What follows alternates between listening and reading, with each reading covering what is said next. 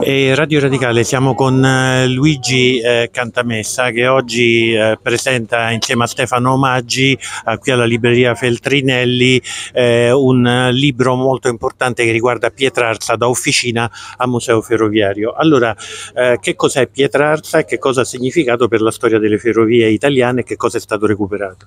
Pietrarsa è il luogo della memoria delle ferrovie italiane, dove tutto è iniziato Dove si trova? In che provincia tra, di? Par, tra Napoli e Portici. Dove nacque la prima la Napoli-Portici? la prima ferrovia italiana. Infatti Pietrarsa sorge al mezzo di questi sette chilometri che nel 1839 al Borbone iniziò come piccolo tronco iniziale di quella che poi diventerà l'avventura ferroviaria delle ferrovie prima borboniche e poi ferrovie dello Stato tutto a Pietrarsa è luogo meraviglioso di fronte a Capri, alle spalle del Vesuvio, un investimento complessivo delle ferrovie per recuperarlo dall'abbandono nel quale era versato negli anni 90 di circa 20 milioni, oggi è luogo di cultura ferroviaria aperto a ogni tipo di evento culturale, quindi presentazioni, eventi sulla storia delle ferrovie, libri di ogni genere, Addirittura si configura Pietrarsa oggi come il centro convegnistico più grande del Mediterraneo, mille posti a sedere tra due ali di locomotive a vapore.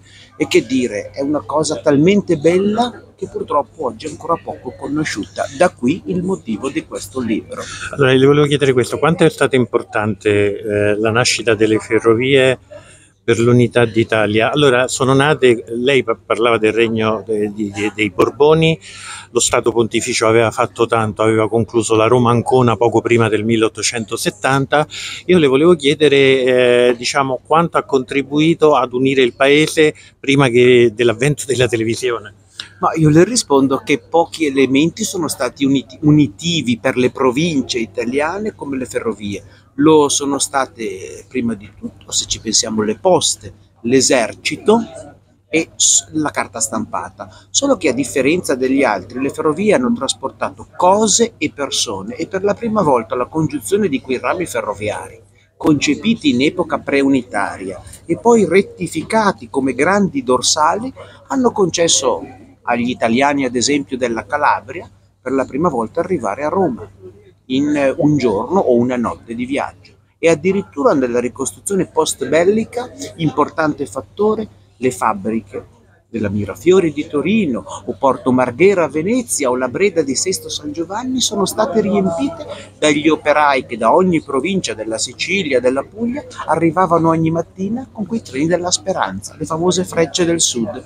La ricostruzione quindi, l'unità quindi, carrozze che avevano alla data del 1861, quando l'Italia è diventata Stato formalmente, standard diversi. E poi al 1883, con il riordino delle prime concessioni, già gli standard delle carrozze e delle locomotive erano diventati uguali. Certo, l'ultima cosa, eh, Oltre al museo, le ferrovie dovrebbero recuperare la, la, loro memoria storica attraverso le linee che sono abbandonate e potrebbero essere recuperate.